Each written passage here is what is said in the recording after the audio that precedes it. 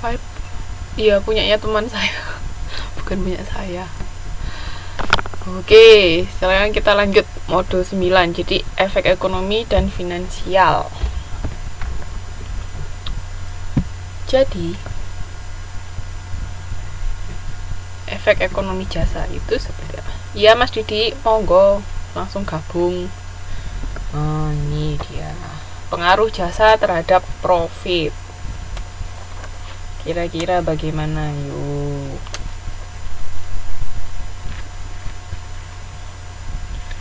Apa pengaruhnya jasa terhadap laba?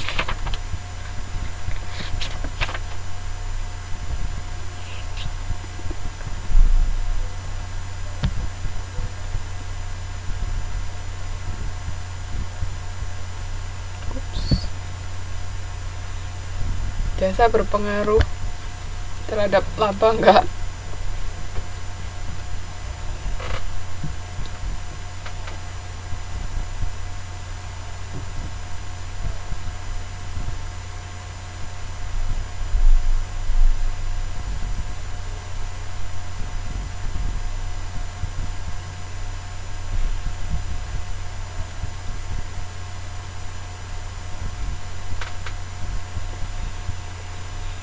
Hmm, jelas. Jadi semakin kita bisa meningkatkan pelayanan, prof, dan kita bisa apa namanya meminimalkan biaya yang kita keluarkan, otomatis profit kita bisa bertambah. Uh -uh. Pelayanan bagus, konsumen puas, konsumennya tambah banyak, pendapatan juga bertambah. Pendapatan bertambah bisa kita bisa dari sisi perusahaan bisa meminimalkan biaya, otomatis laba kita bertambah. Masih ingat kan? Kalau di pengantar akuntansi cara pencatatan laporan laba rugi yang paling gampang ah, yaitu perusahaan jasa. Tinggal setiap pendapatan yang ada yang kita dapat ya udah langsung kita catat. Kalau misalnya perusahaan dagang kan ketika kita menjual dagangan kalau yang lain ketika apa barangnya ter apa perusahaan manufaktur barangnya dibeli.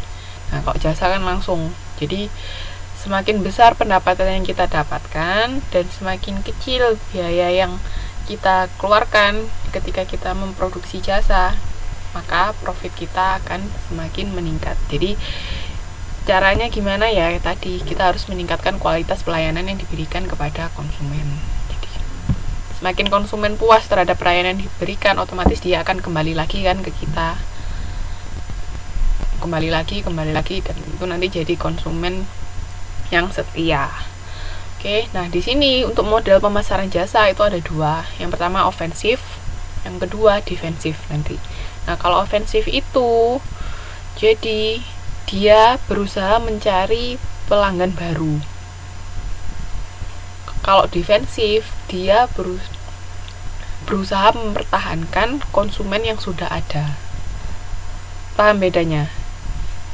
Jadi kalau ofensif dia itu berusaha untuk mencari pelanggan baru mencari konsumen baru yang sebelumnya belum pernah datang ke ke perusahaan tersebut. Tapi kalau pemasaran defensif dia berusaha untuk mempertahankan pelanggan yang sudah ada konsumen yang sudah datang ke kita konsumen setia gitu gimana caranya kita bisa pertahankan? Itu namanya defensif. Nah di sini nih kalau ofensif ini kita berusaha mencari ketika kita memasarkan kita akan mendapatkan market share. Market share itu pangsa pasar. Jadi e, misalnya sekarang kalau di eh jangan itu kan e, kalau market share Oke, contohnya kayak di apa namanya smartphone ya.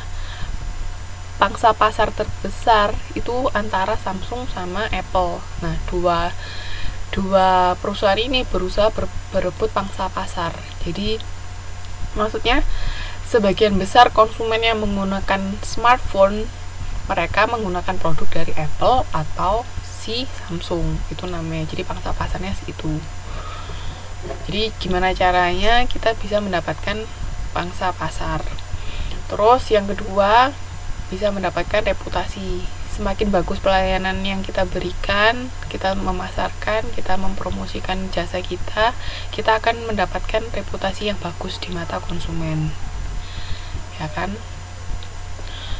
Terus yang ketiga yaitu premium. Pre, premium, price premium. Price premium itu ketika kita bisa mem mematok harga lebih tinggi daripada pesaing.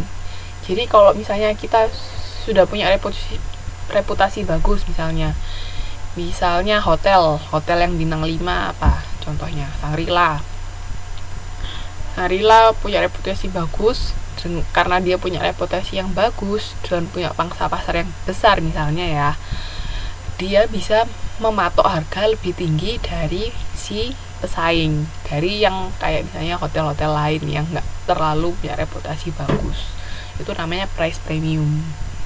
Jadi tiga hal ini bisa didapatkan oleh oleh si si siapa namanya perusahaan untuk meningkatkan penjualan nih dengan jadi semakin besar pangsa pasar semakin bagus reputasi sama ketika bisa mematok harga lebih tinggi otomatis peningkatan eh penjualan kita akan meningkat. Ketika penjualan meningkat yaitu kan kita mendapatkan pendapatan lebih banyak kan maka profit kita juga bertambah. Jadi alurnya seperti itu. Pahamkah sampai sini ada yang mau ditanyakan tentang offensive marketing? Jadi berusaha untuk mendapatkan pelanggan lebih banyak yang mau ditanyakan sampai sini.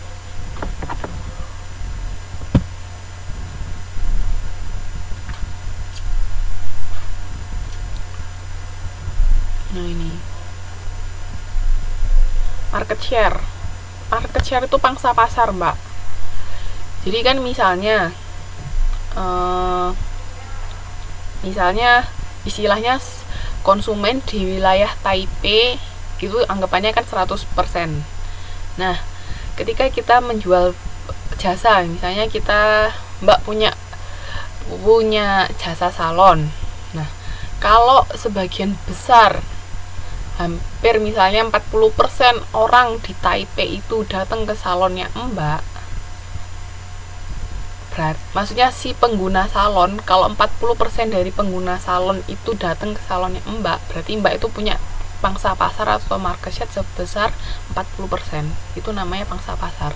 Jadi 40% dari konsumen pengguna salon itu datangnya ke Mbak. Jadi Mbak bisa menguasai 40% konsumen pengguna salon itu. Itu maksudnya market share. Paham?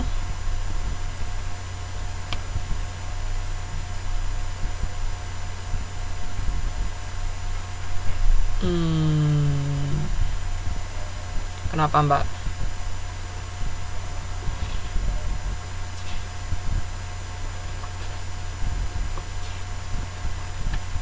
Pahamkah? Udah mau ditanyakan kah?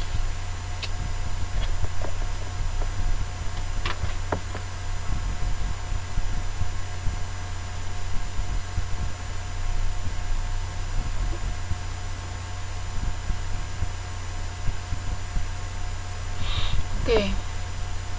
Jadi pokoknya selama perusahaan bisa memberikan pelayanan yang bagus, dia akan mendapatkan reputasi yang bagus, otomatis pangsa pasar yang meningkat, dia juga bisa mematok harga lebih tinggi yaitu price premium istilahnya.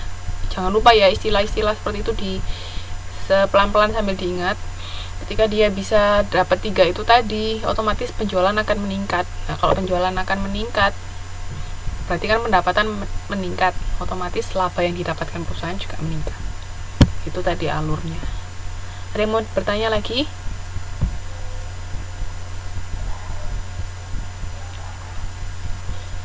hmm.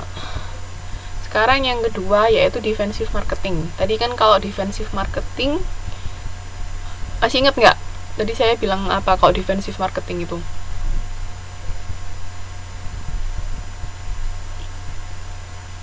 Halo.